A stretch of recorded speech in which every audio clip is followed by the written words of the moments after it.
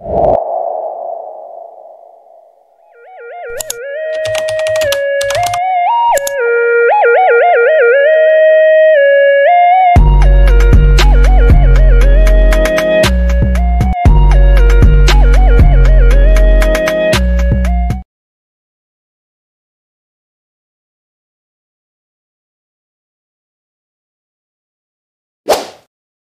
Assalamualaikum warahmatullahi wabarakatuh. Selamat sore pemirsa. Kami sedang berada di tempat kejadian di mana terjadinya pencemaran tanah disebabkan oleh masyarakat membuang sampah berserakan dan menyebabkan terjadinya pencemaran tanah.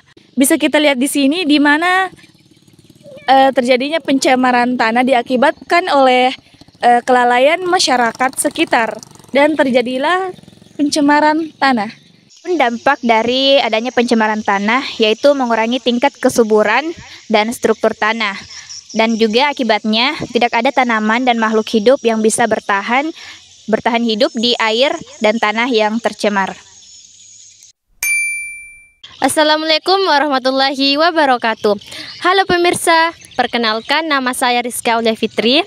Sekarang saya berada di tempat kejadian di mana telah terjadi kerusakan air.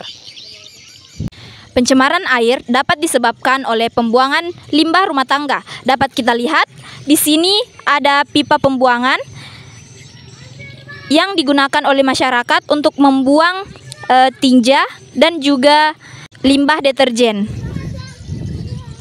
Dapat kita lihat pula di sebelah sana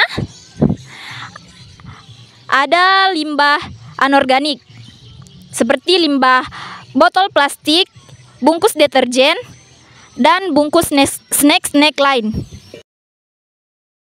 Baik pemirsa, adapun dampak negatif dari pencemaran air eh, yaitu ber, eh, berbahaya bagi makhluk hidup yang menghidup di dalam air misalnya ikan, udang maupun kepiting dan juga berbahaya bagi manusia yang mengonsumsi eh, ikan eh, yang hidup di dalam air tersebut.